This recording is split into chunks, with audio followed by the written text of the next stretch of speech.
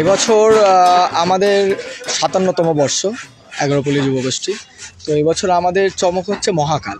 মহাকালের ওপর থিম হচ্ছে শিব ঠাকুরের ওপর থিম তার সাথে জীবন্ত সন্ন্যাসীদের নাচ আছে।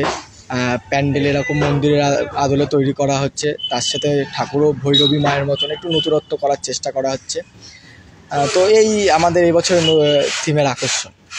পুজোর বাকি দশ দিন তো ব্যস্ততা এখন প্রচণ্ড পরিমাণে ব্যস্ততা, মিস্ত্রিদের কাজ, তাছাড়াও ক্লাবের নানা রকম কাজের মধ্যে ব্যস্ততা, এখন তুঙ্গে ব্যস্ততা যেটা বলা যেতে পারে। এগারোপল্লী যুবগোষ্ঠীর পক্ষ থেকে আমাদের এটাই আবেদন যে সবাই আসুন, আমরা প্রত্যেক বছর নতুনত্ব চমক দিই। তো এবছরও আশা করছি সবার ভালো লাগবে।